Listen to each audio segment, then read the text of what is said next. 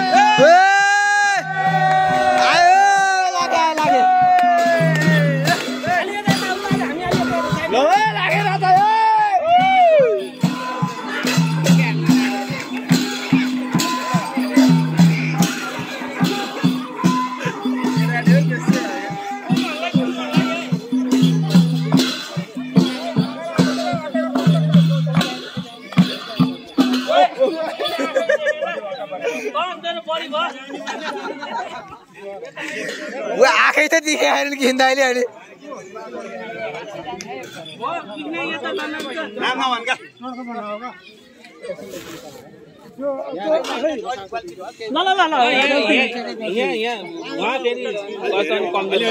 अहिले अगाडि नाचौँ क्या अहिले अगाडि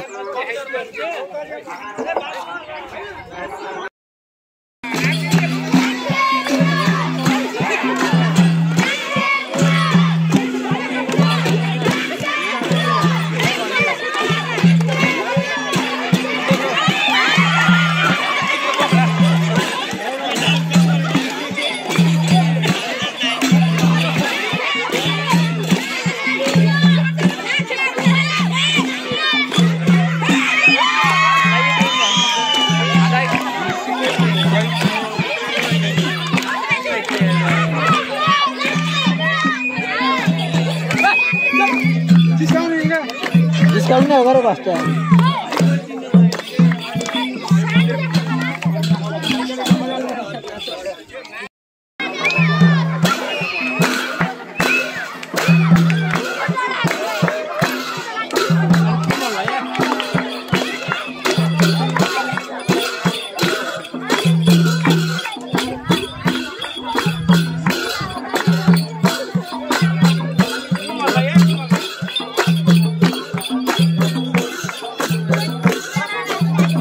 अग्लो मान्छे यताउता उ त्यता आउन आउन यसले जान्न रहेछ नि माधव बजाउन अनि जानिन्छ नि त्यही हो होइन उसले बजाउँदा भन्नु भाइ भन्नु बारी घर भन्नु